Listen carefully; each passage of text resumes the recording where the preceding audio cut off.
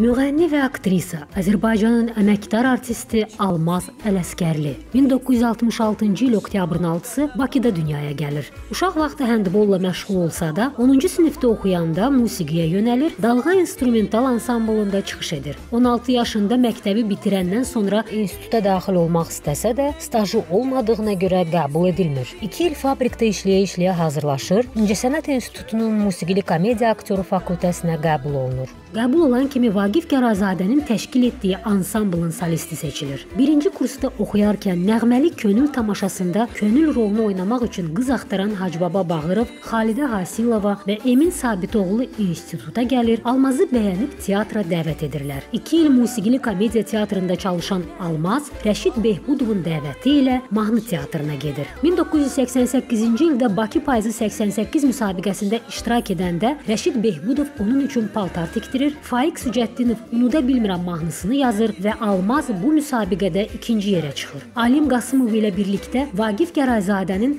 Səni axtara-axtara mahnısını duet oxuyandan sonra ölkə miqyasında tanınıb, sevilir. 90-cı illərdə aktrisalıqdan uzaqlaşıb, sırf ifaçılıq ilə məşğul olan Almaz Ələskərli Sənə ehtiyacım var, İlk məhəbbət, Sənsizəm, Bir xumar baxışla, Yazığım gəlir sənə, Sənsiz də xoşbəxtəm mahnıları ilə dinləyicilərin qəlbini fəth edir. 1999-cu ildə Qırğızıstanın Oş şəhərində keçirilən festivalın qalibi olur. 2000-ci ildə ilin ən yaxşı qadın müğənnisi adına layiq görülür. 2013-cü ildə Oğurlanmış Arzular serialında Leyla obrazını canlandıran Almaz Ələskərli 2016-cı ildə yenidən Azərbaycan Dövlət Musiqili Teatrında çalışmağa başlayır. Mədinə və Əminə adlı iki qızı, 3 nəvəsi var.